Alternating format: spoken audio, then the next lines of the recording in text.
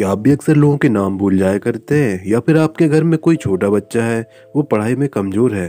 तो इस वीडियो को ज़रूर देखें, क्योंकि अभी जो मैं आपको एक नुस्खा बताने जा रहा हूँ, वो नुस्खा काफ़ी कम लोग ही जानते हैं, इसलिए इसका फ़ायदा भी काफ़ी कम लोग उठा पा रहे हैं। इसमें केवल आपको चार चीज़ों की ज़रूरत पड़ेगी, जो कि आपको आसानी से मार्केट में मिल जाएगी। और इसके बाद आपका दिमाग, या फिर जिसने भी इस नुस्खे को अपनाया है, उसका दिमाग इतना पावरफुल हो जाएगा कि वो चुटकियों में काफ़ी कठिन सवालों को सॉल्व कर पाएगा और उसको काफ़ी सारी चीज़ें याद होने लगेंगी। यहाँ तक कि अगर आपको एग्ज़ाम में कम नंबर आते हैं, आपकी दिमाग की कमज़ोरी या फिर याददाश्त की कमज़ोरी के कारण तो वो भी चेंज हो जाएगा और आपको अच्छे नंबर आने लगेंगे। तो इसके लिए पहले आपको तीन चीज़ों का पेस्ट बनाना पड़ेगा। इसको आप जितना बारीक कर सके, उतना ज़्यादा अच्छा है।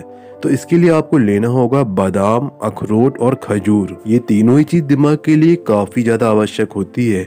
लेकिन अक्सर हमें इसके सेवन का सही तरीका नहीं पता होता, जिससे हमें उसका पूरा फ़ायदा नहीं मिल पाता।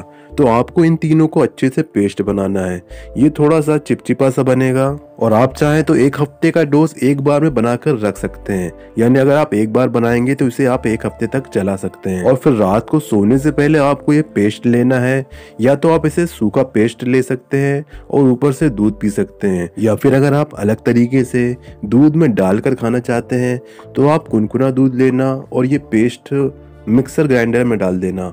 और दो तीन बार घुमा देना तो आपको स्मूदी जैसा एक मिल्क शेक मिल जाएगा, जो कि काफ़ी टेस्टी होगा। अब अगर डोज की बात की जाए तो छोटे बच्चों को आप एक चम्मच पेस्ट दे सकते हैं। और अगर आप बड़े हैं और आप इसका फ़ायदा उठाना चाहते हैं तो आप दो चम्मच भी ले सकते हैं। लेकिन इसका प्रयोग आपको लंबे समय तक करते रहना पड़ेगा।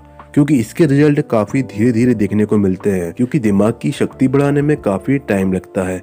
तो आप भी इसका उपयोग करें और आपको रिज़ल्ट कितनी जल्दी मिल जाता है, आप कमेंट करके बताएँ। और आपका अगर कोई क्वेश्चन है तो वो भी आप कमेंट करके पूछ सकते हैं। और साथ में इस वीडियो को लाइक भी करें और अपने दोस्तों साथ शेयर ज़रूर करें। और जाते जाते चैनल को सब्सक्राइब करना बिल्कुल मत भूलें।